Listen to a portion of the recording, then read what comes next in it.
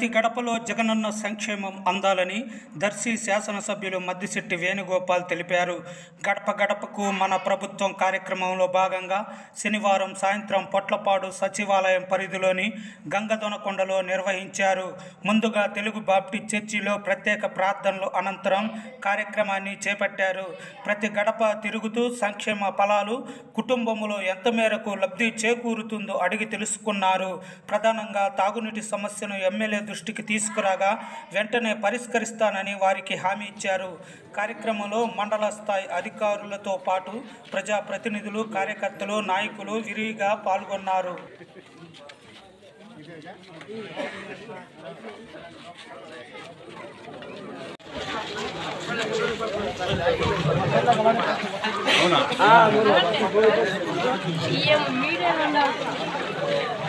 ఉన్నారు రైతు భరోసా వస్తుంది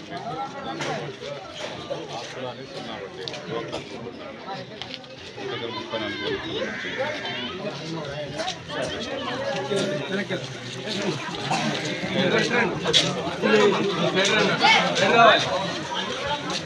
మొత్తం కలిపి రెండు లక్షల ఇరవై ఐదు వేల ఎనిమిది వందల యాభై రెండు రూపాయలు వచ్చాయి.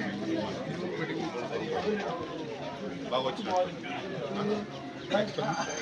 పింఛు వస్తుంది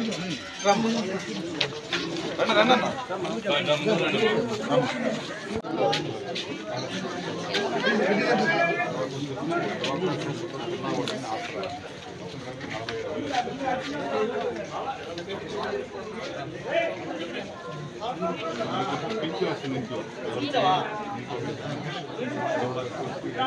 అమ్మఒడి పథకం వస్తుంది తర్వాత విద్యా దీవెన దాంతో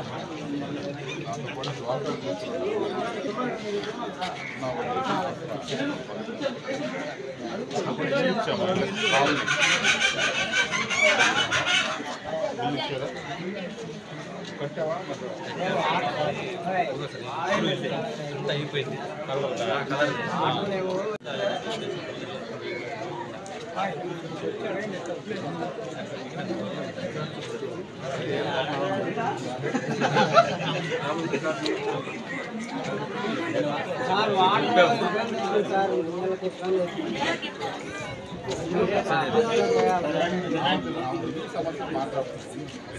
అందరూ చదివేస్తా ఆ తర్వాత మీ కామన్ సమస్య నీటి సమస్య రోడ్డు సమస్య ఉంటే మాట్లాడతాం ఇక్కడే ఉండండి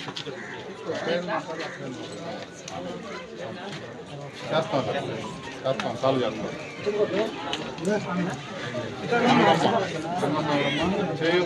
మీకు చేయూత నలభై సంవత్సరాలు డబ్బులు వచ్చాయి.